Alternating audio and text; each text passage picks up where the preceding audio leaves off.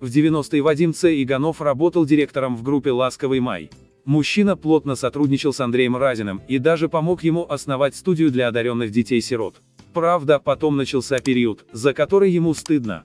Вадим Цаиганов, Андрей Разин и менеджер Андрей Грозин нашли в детских домах талантливых ребят, которые под брендом «Ласкового мая» давали концерты в разных городах страны. Парни пели, а зрители думали, что перед ними стоят Юрий Шатунов и другие известные солисты. За «Ласковый май» каюсь. Каюсь, что участвовал в этой истории. Мне стыдно, потому что тогда не знал Бога, для меня Богом были деньги. Я зарабатывал и ничего больше не видел, заявил Вадим в YouTube-шоу «Вдуть». Супруг Вики Цыгановой рассказал, как вообще вышел на Разина. Ко мне пришел Грозин и сказал, Разин занимается нехорошим, давай отберем у него деньги. Потом я встретился с Разиным попросил у него одного исполнителя и посоветовал создать студию детей-сирот, то есть я бы брал одного настоящего артиста и плюсовал его к другим парням. Продюсер и автор песен прекрасно осознает, что занимался мошенничеством. Это обман. Тогда было время обмана. Но я покаялся.